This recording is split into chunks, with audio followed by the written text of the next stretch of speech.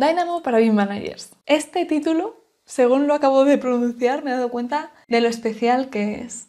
Porque en los últimos años, más de 400 BIM Managers os habéis formado conmigo y ese BIM Manager no es algo generalista, sino que estoy pensando en Juan, en Álvaro, en Alicia, en Marta, en Clara, en toda esa gente que habéis estado conmigo formando y en las empresas que también habéis decidido formar a vuestros BIM managers conmigo. Así que para vosotros y para todos los que en un futuro decidáis formaros, soy Luis Santa María, soy arquitecta y consultora BIM y en este vídeo te voy a contar cuáles son las claves de Dynamo para los BIM Managers. Te voy a dar una idea general que si eres BIM Manager y alguien te pregunta por Dynamo en tu oficina para que sepas cómo contestar o sepas qué implica. Y por último, quiero darte un plan de acción para que puedas implementar esto en tu oficina desde hoy mismo.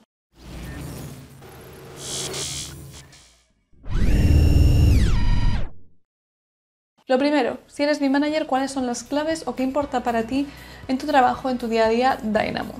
Para empezar, tienes que saber que Dynamo es un sistema de programación visual que lo que te permite o lo que te va a permitir va a ser acelerar todo el flujo de trabajo de tu empresa, las tareas repetitivas, aburridas o pesadas, vas a poder tener la posibilidad de aligerarlas mucho, automatizarlas. Lo primero que más preocupa a los BIM managers cuando empiezan con Dynamo o con sistemas de programación es elegir qué programar. Tú eres el BIM manager de la oficina, por tanto nadie te está diciendo, tu jefe en general, a no ser que conozca estos sistemas, no te va a decir, oye, programa esto o aquello. Entonces lo primero es elegir qué programar, ¿ok?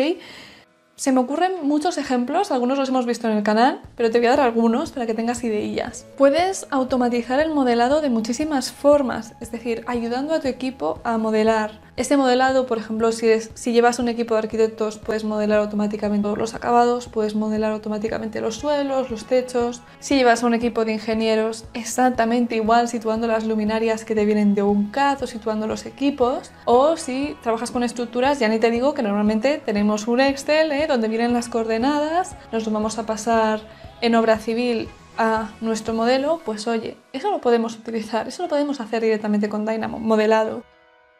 Por cierto, aquí Luisa la edición que me he dado cuenta que no te estoy explicando de qué son estos ejemplos. El Dynamo que estás viendo aquí lo que hace es modelar los acabados incluyendo el recubrimiento de las columnas. Gestión de la información. Los proyectos en metodologías BIM llevan mucha información. Puedes tener un flujo de esos datos de un lado para otro, de Excel o de cualquier otro tipo de base de datos al modelo y desde el modelo también a Excel. Eso te va a permitir, por ejemplo, que si tienes gente en tu oficina que no maneja bien BIM o no maneja bien el programa, que sea Revit, pueden seguir ayudando porque tú puedes sacar la información y que ellos participen, con lo cual generas una ventaja a tu oficina. De nuevo, ¿qué está haciendo en Dynamo? ¿Qué estás viendo en pantalla? Está tomando información del modelo y volcándosela a las etiquetas. O sea, es constante traslado de información. Y luego también podemos, podemos, automatizar, por ejemplo, la generación de documentación, se pueden sacar planos de forma automática y la gestión de los modelos. Puedes auditar los modelos, comprobar los modelos entre sí, como BIM Manager, eso te ayuda mucho. Por cierto, que el Dynamo que ve en pantalla es justamente de eso, de auditar modelos, en este caso localizando los warnings. Así que estas ideas de no sé qué automatizar, que no sea una excusa, que ideas hay un montón, te las voy dando. Lo segundo que sería importante para ti es entender cuánto tiempo lleva generar un Dynamo y cuál es su beneficio. Porque claro, si voy a generar un Dynamo para una cosa que voy a hacer realmente 5 minutos, no me va a compensar programarlo, no me va a compensar el tiempo que requiere esa programación. Así que es un constante de entender cuánto tiempo me lleva versus cuánto me beneficia. Aunque tú no manejes Dynamo de forma directa, si decides ser BIM Manager y no manejarlo, que ya lo están pidiendo bastante, vas a tener que entender esto, porque incluso para subcontratarlo necesitas tener una estimación de cuánto se tarda. Otro punto importante sería cómo organizar los dynamos de tu oficina. O sea, vale, yo hago automatizaciones o las encargo fuera donde sea. Ahora, ¿cómo hago que todo el mundo las encuentre? ¿Tengo una base de datos con ellas? ¿Cómo lo organizo? Etcétera. Aprovecho para darte algún tip sobre esto. Dynamo funciona ahora mismo un poco como Revit. Hay versiones, ¿ok? Entonces, es muy importante que en el nombre del Dynamo ponga qué versión pertenece, si funciona en español inglés y luego que el propio Dynamo dentro tenga información sobre lo que hace o lo que deja de hacer y que esté organizado. Y luego tener una base de datos de esos Dynamos. Cosas específicas que a ti te van a importar de Dynamo, cosas específicas que son importantes si manejas Dynamo, ya no si no lo manejas, pero si lo manejas, ¿qué sería para ti fundamental aprender? Todo lo que tiene que ver con renombrado. Los nodos get parameters de parameters son tus amigos, porque todo lo que tiene que ver con nomenclatura, estándares, etcétera, lo vas a poder manejar desde Dynamo. Por cierto, el Dynamo que estás viendo en pantalla es el típico ejemplo que a los BIM managers nos gusta tener cerca porque es de renombrado de familias. Tiene esa parte de gestión de parámetros, renombrado, selección, etc. Creo que era un buen ejemplo, por eso te lo pongo aquí mientras te doy los detalles. Es muy interesante para ti conocer Dynamo Player, es decir, ser capaz de convertir tus Dynamos en un botón para tu oficina para que si tú los gestionas y manejas y creas esos Dynamos, todo tu equipo lo puede utilizar y todo lo que tenga que ver con la gestión masiva de parámetros y familias. Porque generalmente el BIM Manager es quien lo lleva. Todo, uh, todo esto en la formación de especialista 3D si buscas dónde encontrarlo en el índice, puede que ahora mismo no esté publicado, pero en un futuro, cuando esté publicado, lo vas a ver en la parte de BIM Management, ¿vale? Esa especialización contiene todos estos temas y seguramente te lo deje por aquí para que le puedas echar un ojo.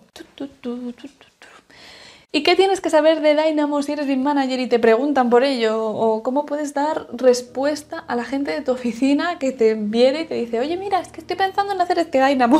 ¿Qué tienes tú que tener en cuenta como BIM Manager? Muy sencillo, fácil rápido. Que Dynamo va a permitirte automatizar los procesos, por tanto, herramienta de automatización. Que ahorra tiempo, ¿vale? Ahorra tiempo a todo el equipo y cómo lo ahorra. Entonces, imagínate que te viene tu jefe, que puede saber o no de metodologías BIM, y te dice, oye, ¿merecería la pena que nuestro equipo aprendiera Dynamo? ¿Tú qué tienes que saber como BIM Manager? Mira, lo primero que eh, Dynamo te viene con Revit de forma gratuita, con lo cual ese es un dato interesante para tu jefe, puesto que si ya hemos hecho la inversión en Revit, tiene toda la lógica, todo el sentido utilizar Dynamo, es una parte integral de él. Te viene con otros muchos programas, Te viene con Civil y con otros muchos programas ya implementado y, y eso es interesante. Y luego que no hace falta que lo aprenda todo el mundo en la oficina, que con dos o tres personas que lo manejen, los dynamos que generéis ya los va a poder utilizar toda la oficina. Eso es súper importante porque no necesitas hacer una inversión gigante de formación, sino que con una o dos personas, bueno, yo te diría dos o tres, porque si solo formas a una y esa una se va, bueno, pues podemos tener un problema. Pero si formamos a dos o a tres personas, siempre una se puede respaldar a la otra, pues ya lo que hagan lo pueden utilizar toda la oficina, con lo cual estamos multiplicando la eficacia. Y si te viene, en vez de tu jefe, imagínate de un modelador que está trabajando bajo tu supervisión en tu equipo o bajo tu responsabilidad, ¿no? Lo que yo siempre preguntaría a ese modelador es, ok, yo entiendo que esto es por algo que te ha surgido la necesidad de automatizar. ¿En cuántos proyectos vamos a poder aprovechar este programa? ¿En cuántos proyectos lo vamos a poder aprovechar? ¿Y cuánto tiempo piensas que te va a costar?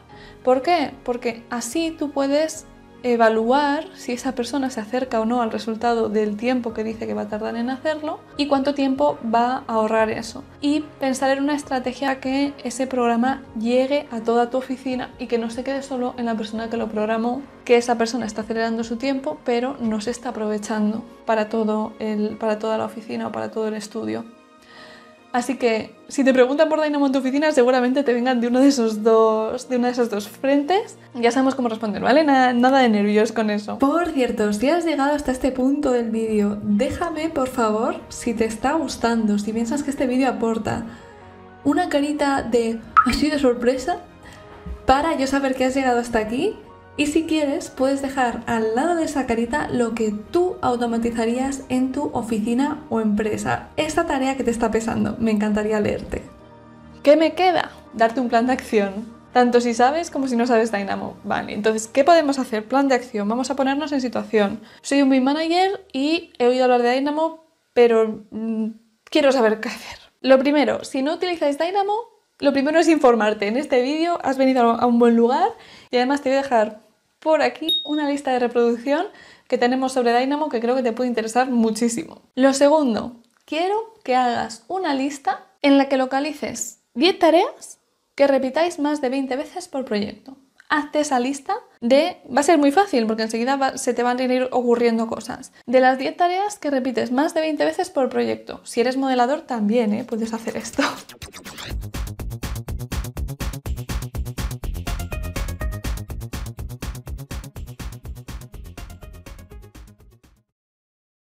Lo tercero sería apuntarte el tiempo que ahorrarías en una semana si tuvieras automatizadas esas tareas. Si son tareas que son más largas, por un mes, pero apúntate ese tiempo con respecto a un valor absoluto. Tiempo ahorrado por mes, 8 horas. Tiempo ahorrado por mes, una semana. ¿Para qué? Siguiente paso. Filtrar las tres tareas que más tiempo ahorren a tu oficina en su conjunto las tres que más tiempo ahorren a tu oficina en su conjunto y las tres que más tiempo te ahorren a ti mismo o misma como BIM Manager. Porque pueden no ser las mismas. O sea, a la oficina le puede venir genial tener un Dynamo que automáticamente eh, te modele los suelos y techos, pero tú eres BIM Manager, no modelas suelos y techos, a ti te puede venir mucho mejor un Dynamo que automáticamente te vuelca todos los parámetros compartidos al proyecto. Porque estás todo el santo día metiendo parámetros compartidos en los proyectos, ¿no? Entonces, divide esas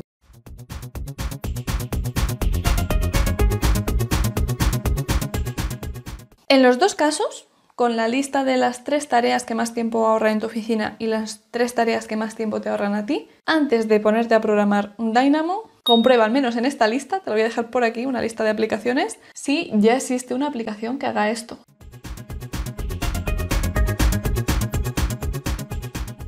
Si ya existe, no lo vas a automatizar tú, no lo vas a generar tú esa automatización, ya la tienes en una lista. Si no existe, entonces es el momento de pensar en programar. Si estás pensando en programar una de esas tareas, hay dos opciones. O lo automatizamos nosotros en la oficina, lo vas a hacer tú mismo, o vamos a externalizarlo. No tiene por qué ser mejor o peor una que otra, ¿vale?